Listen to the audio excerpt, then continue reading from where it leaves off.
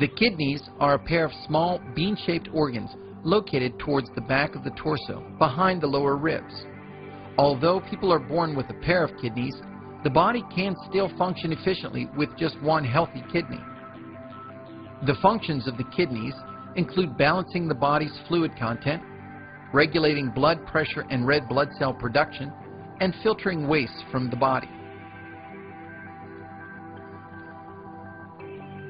Each kidney is composed of about 1 million filtering units called nephrons. Each nephron contains a twisted mass of small blood vessels called glomeruli. The semi-permeable glomeruli allow water and soluble waste from the blood to pass through the membrane. The filtered wastes are then transported out of the body in the form of urine.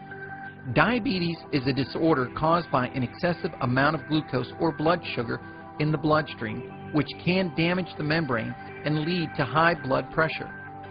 This increase in blood pressure causes the kidneys to filter too much blood, overworking and damaging the nephron. This condition is known as diabetic nephropathy.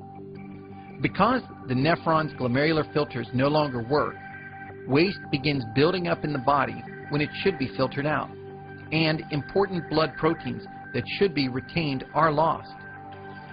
Symptoms of this disorder often do not appear until 80% of the kidneys have been damaged.